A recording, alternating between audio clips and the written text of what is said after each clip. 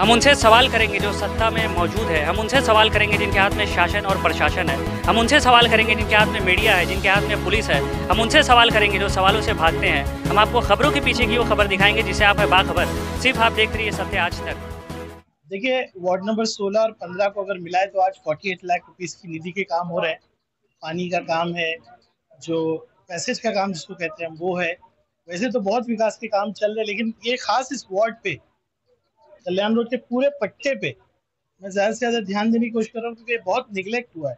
जो मैं काम कर रहा हूँ, वो नगर सेवक के काम है। लेकिन बहुत सालों से नहीं हुए। यहाँ पे अजहर ने बहुत मेहनत की इनिशिएटिव लिया विज़िट कराई, हमारे साथ एस्टिमेट्स बनाए और ये काम शुरू किए। उसके साथ साथ आज मैं एक 25 लाख की निधि अनाउंस कर रहा हूँ। सुफियान शाह ने जो रोड बोला है, जो मेन कनेक्टिंग रोड है आपका, बहुत बुरी हालत है उसकी। उसके लिए भी आज निधि में दे रहा हूँ। लेकिन आज जो काम हो रहे हैं, वो 48 लाख के लगभग पूरे काम है। देखिए, काम कीजिए। काम डेवलपमेंट का होना चाहिए। ये मेरी भूमिका है। जितनी निधि आ रही है, वो सब शासन के मार्फत आ रही है और ज़्यादा से ज़्यादा निधि लाइए। और पाठ पुरावा कीजिए ताकि शहर का विकास हो।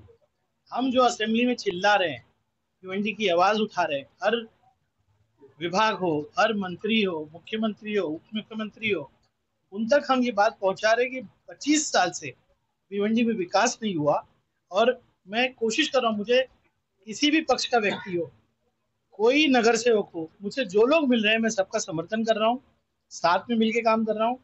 कोशिश कर रहा हूँ कि हर आदमी निधि लाए, हमारे भिवंडी के लिए काम करे। मुझे बस ये कहना है। नहीं, मुझे ऐसा नहीं लगता कि सुधाकर देशमुख पे कोई ऐसा इल्ज़ाम है। इल्ज़ाम तो लगते रहते प्रशासकीय अधिकारी लोग काम करते हैं और ये एक रूटीन ट्रांसफ़र है। एक व्यक्ति प्रमोट हुआ और शासन ऐसे ट्रांसफ़र करता रहता है और मुझे नहीं लगता इससे कोई फ़र्क पड़ेगा। काम विकास के चलते रहेंगे, आयुक्त कोई भी रहे, उसको चलाने वाले लोग सक्षम होना चाहिए। नई आयोग साहब से मेरी बात तो अभी हुई नहीं, लेकिन मुझे पूरी उम्मीद है, मुझे जो पता चला है कि डेवलपमेंट का काम करेंगे, भिवंडी को जानते हैं। मैंने कहा ना, अधिकारी कोई भी हो, अधिकारी को चलाने वाला सक्षम होना चाहिए। भाई निधि निधि का जो खेल है अक्टूबर 2019 के बाद से शुरू हुआ है।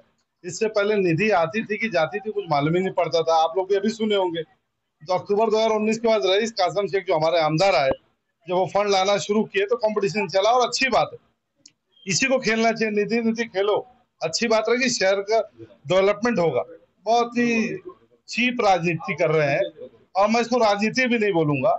इस टाइप की चीज़ें नहीं होनी चाहिए उमूमन शहर में और समाज में कि आप किसी अभद्र भाषा का इस्तेमाल कर रहे हो। आप राजनीति करो राजनीतिक भाषा यह है ही नहीं।